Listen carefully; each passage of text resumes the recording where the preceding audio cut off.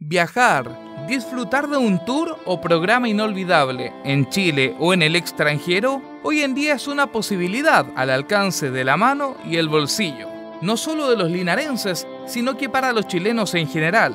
La industria turística crece y se adapta a las necesidades actuales. En Motion Tour Chile destacamos mucho en lo que son los paquetes turísticos. Son programas turísticos ya armados. Por ejemplo, incluyen el pasaje aéreo, lo que es la hotelería, la mayoría categoría tres estrellas, las entradas, los guías, siempre son los guías de, la zona, ¿no? En este caso, por ejemplo, de San Pedro de Atacama, puede ser Huilo Capillas de Mármol, Cusco, que está en Perú, Machu Picchu, entre otros también, ¿no? Nosotros armamos paquetes también especiales según el cliente. En Chile, Isla de Pascua, San Pedro de Atacama o Huilo Huilo con las termas geométricas se tornan en los destinos preferidos por familias y viajeros.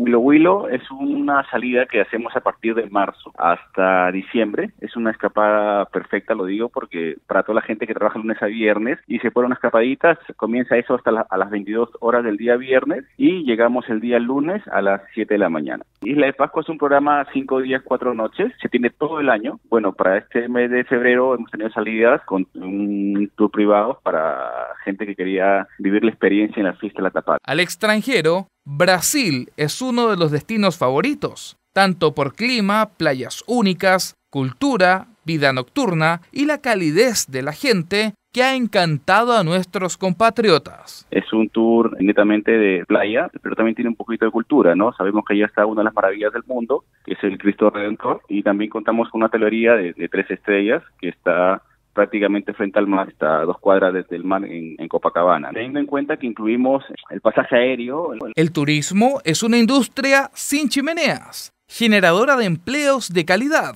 y se posiciona como una gran alternativa económica para la región del Maule. A nivel internacional, esta actividad crece y Chile fue nuevamente nombrado como el principal destino turístico en el mundo por la revista Lowly Planet. Estos últimos años el turismo ido creciendo de manera eh, exponencial, te podría decir, ya que la gama de alternativas de salidas siempre se va innovando. El cliente siempre nos da alternativas, como por ejemplo para Europa, de repente abrir un poquito más para Sudamérica. Y siempre agradezco a los clientes porque gracias a ellos, cada empresa de turismo creo que está posicionada bien en Chile, a crecimientos en base a ellos también, ¿no? Por esto, desde emotiontourchile.com recomiendan planificar el viaje con tiempo para tranquilidad de toda la familia.